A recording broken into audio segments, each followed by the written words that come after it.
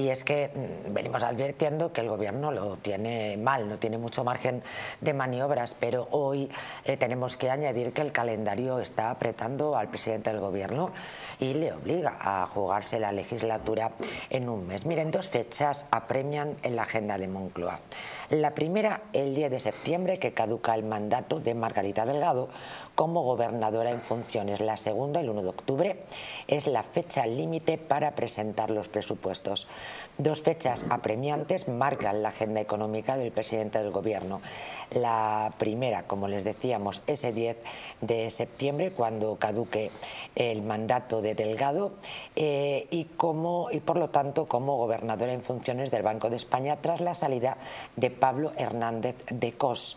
Y la segunda, ese próximo 1 de octubre, eh, se establece el artículo 134.3 de la Constitución el proyecto de ley de presupuestos generales del Estado para 2025.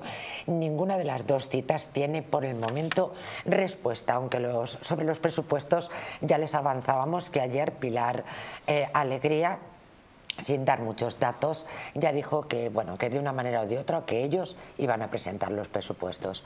En fin, legislatura harto complicada, señores. Bueno, yo creo que ahora mismo depende bastante de Puigdemont, de cuál va a ser su reacción a la investidura de ella.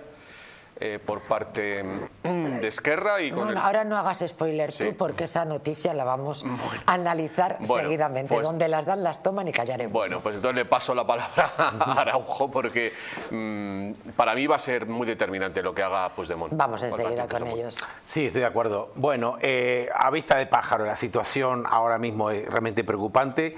No tenemos nosotros eh, que dar ninguna novedad en lo que tiene que ver con la preocupación de los españoles en tantos casos en los que está haciendo este gobierno realmente una abdicación de funciones. Hay problemas, no solamente lo que apuntabas tú al inicio, María José, con respecto a migración, hay problemas en lo económico, hay problemas en lo que atañe a la seguridad, eh, estamos viviendo el desmantelamiento también del sector primario, es decir, son muchos los retos que nos enfrentamos y en los próximos meses yo creo que va a ser determinante. Vamos a ver si esperan. Ahora Pilar Alegría esta mañana decía que iba eh, se estaba negociando los presupuestos, tienen hasta el día 1 de octubre para presentarlos, vamos a ver si van a ser capaces, pero ciertamente si por segunda vez tienen que prorrogarse estos presupuestos, ya creo que ahí se van a disparar todas las alarmas. ¿no?